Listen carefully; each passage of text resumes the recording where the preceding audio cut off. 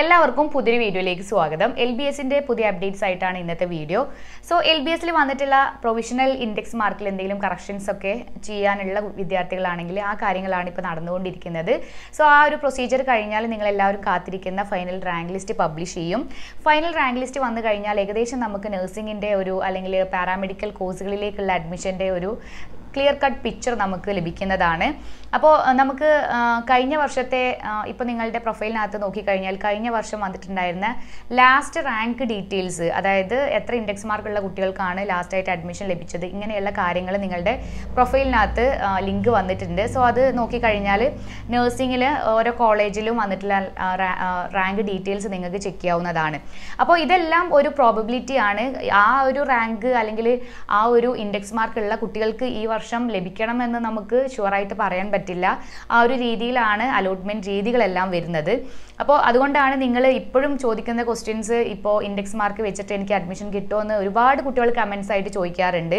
നമുക്ക് സി കേരളത്തിൽ അങ്ങനെ നമ്മൾ ഒരു ഇൻഡെക്സ് മാർക്ക് വെച്ചിട്ട് നിങ്ങൾക്ക് ലഭിക്കുമെന്നോ അല്ലെങ്കിൽ നിങ്ങൾക്ക് കിട്ടില്ല എന്നോ നമുക്ക് ഉറപ്പ് പറയാൻ പറ്റില്ല. ഇറ്റ് ഡിപ്പെൻസ് നമ്മൾ ഇതിൽ കുറേയൊക്കെ നമ്മളുടെ ഭാഗ്യമാണ്.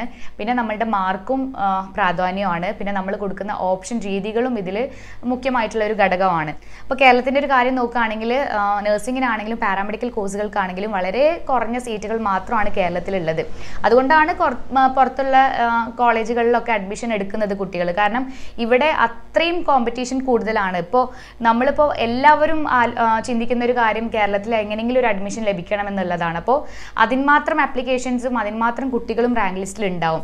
നമുക്ക് ആകെ വരുന്നത് ഒരു ആറായിരത്തോളം സീറ്റുകളാണ് നഴ്സിങ്ങിന് പ്ലസ് ബാക്കി വരുന്ന ഒരു പത്ത് മൂവായിരത്തി അഞ്ഞൂറ് സീറ്റുകൾ പാരാമെഡിക്കൽ കോഴ്സുകൾക്കും എല്ലാ പാരാമെഡിക്കൽ കോഴ്സുകൾ കൂട്ടിയിട്ടാണ്.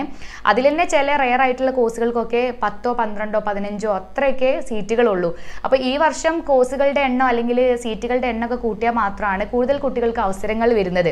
അപ്പോൾ നിങ്ങൾ വളരെയധികം ശ്രദ്ധിക്കേണ്ടത് ഇപ്പോഴും നിങ്ങളൊരു തീരുമാനം എടുക്കാതെ ഇപ്പോഴും ഞാൻ ഈ ഒരു അലോട്ട്മെന്റ് മാത്രം വെയിറ്റ് ചെയ്തിരിക്കുകയാണ് എന്നുള്ള രീതിയിൽ ഇരിക്കുന്ന കുട്ടികളാണെങ്കിൽ നിങ്ങളുടെ അടുത്ത് പറയാനുള്ളത് നിങ്ങൾ എങ്ങനെയെങ്കിലും ഒരു സീറ്റ് എവിടെയെങ്കിലും ഒരു മാനേജ്മെന്റ് സീറ്റ് സെക്യൂർ ചെയ്യുക. അത് കേരളത്തിലായാലും കേരളത്തിന് പുറത്താണെങ്കിലും നിങ്ങളിപ്പോൾ ഈ ഒരു കോഴ്സാണ് എനിക്ക് താല്പര്യം. ഞാൻ ഈ ഒരു കോഴ്സ് മാത്രമേ പഠിക്കുകയുള്ളൂ. അല്ലെങ്കിൽ നഴ്സിംഗ് മാത്രം മതി എനിക്ക്. അല്ലെങ്കിൽ എം എൽ ടി മാത്രം മതി എനിക്ക്. ഇങ്ങനെയുള്ള രീതിയിൽ നിങ്ങൾ ചിന്തിക്കുന്ന കുട്ടികളാണെങ്കിൽ നിങ്ങൾ ഒരു അഡ്മിഷൻ ഫീസ് നിങ്ങൾക്ക് ഒരു പതിനായിരം രൂപയോ അല്ലെങ്കിൽ അയ്യായിരം രൂപയൊക്കെ ഫീസ് അഡ്മിഷൻ ഫീസ് കൊടുത്തു കഴിഞ്ഞാൽ ഒരു സീറ്റ് നിങ്ങൾക്ക് ബുക്ക് ചെയ്യാൻ സാധിക്കുന്നതാണ്.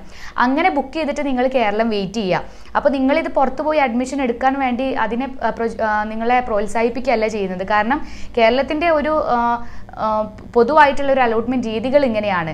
നമുക്ക് മുന്നൂറ് ഇൻഡെക്സ് മാർക്കുള്ള കുട്ടികൾക്ക് പോലും ഇവിടെ നിങ്ങൾ പ്രതീക്ഷിക്കുന്ന ഒരു കോളേജ് കിട്ടുമെന്ന് ചോദിച്ചു കഴിഞ്ഞാൽ നമുക്ക് ഉറപ്പ് പറയാൻ പറ്റാത്തൊരു കണ്ടീഷനാണ് അപ്പോൾ നിങ്ങൾ എന്ത് ചെയ്യുക നിങ്ങളുടെ സീറ്റ് നിങ്ങളുടെ ആഗ്രഹം നിങ്ങൾ നിങ്ങൾക്ക് സെക്യൂർ ചെയ്യണം എന്നുണ്ടെങ്കിൽ നിങ്ങൾ ഇതുപോലെ ഒരു നല്ല കോളേജ് പുറത്തുള്ള നല്ലൊരു കോളേജ് നിങ്ങൾ ഇതുപോലെ പുറത്തുള്ള കോളേജ് എന്ന് പറയുന്നത് കേരളത്തിൽ നിങ്ങൾക്കിപ്പോൾ എങ്ങനെയും ഈ അലോട്ട്മെന്റ് പ്ലസ് ടുവിന്റെ മാർക്കൊക്കെ നോക്കിയിട്ട് അഡ്മിഷൻ കിട്ടുള്ളൂ അപ്പോൾ കേരളത്തിന് പുറത്താണെങ്കിൽ ഇപ്പോൾ മെഡിക്കൽ കോളേജിലും അതേപോലെ തന്നെ പ്രൈവറ്റ് സെൽഫ് ഫിനാൻസിങ് കോളേജിലൊക്കെ നിങ്ങൾക്ക് മാർക്ക് ഇപ്പോൾ ഒരു അറുപത് ശതമാനത്തിന്റെ ഒക്കെ മുകളിൽ മാർക്കുള്ള കുട്ടികൾക്ക് എവിടെയും അഡ്മിഷൻ ലഭിക്കും.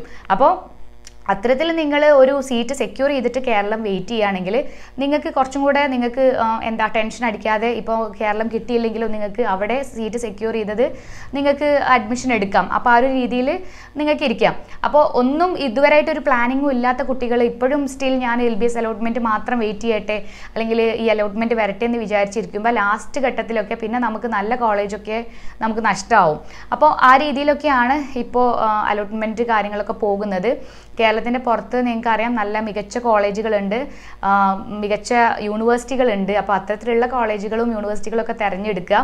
പിന്നെ അതേപോലെ തന്നെ കേരളത്തിൽ ഇപ്പോൾ നമുക്ക് മറ്റുള്ള അലോട്ട്മെന്റ് ഒക്കെ വരുമ്പോഴും നമുക്ക് പറയാനുള്ളത് ഒരുപാട് കുട്ടികളുടെ എണ്ണം ഈ വർഷം കൂടുതലായിരിക്കും. ഈ എൻട്രൻസിന്റെ ഒരു ആശങ്കയൊക്കെ ഉള്ള കാരണം തന്നെ കേരളത്തിൽ മാത്രം ഫോക്കസ് ചെയ്യുന്ന കുട്ടികളുടെ എണ്ണം കൂടുതലായിരിക്കും. കഴിഞ്ഞ പ്രാവശ്യം തന്നെ ഒരു നാൽപ്പത്തി ഏഴായിരം അല്ലെങ്കിൽ ഒരു ഫിഫ്റ്റി കെ അല്ലെങ്കിൽ ഒരു അൻപതിനായിരം വിദ്യാർത്ഥികളാണ് എൽ ബി എസ് ആപ്ലിക്കേഷനിൽ വന്നിട്ടുണ്ടായിരുന്നത് റാങ്ക് ലിസ്റ്റിൽ വന്നിട്ടുണ്ടായിരുന്നത്.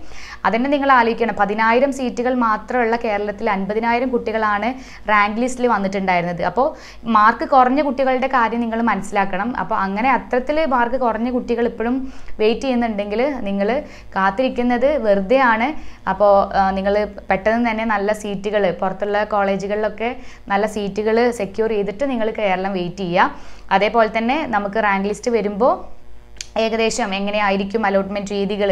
അല്ലെങ്കിൽ ഫസ്റ്റ് അലോട്ട്മെന്റ് നമുക്ക് ഫസ്റ്റ് മൂന്ന് അലോട്ട്മെന്റ് ആണ് മെയിൻ അലോട്ട്മെന്റ് വരുന്നത്. അത് കഴിഞ്ഞാൽ പിന്നെ വേക്കൻസി വരുന്ന സീറ്റുകളിലേക്ക് സ്പെഷ്യൽ അലോട്ട്മെന്റ്സ് ഒക്കെ കണ്ടക്ട് ചെയ്യും.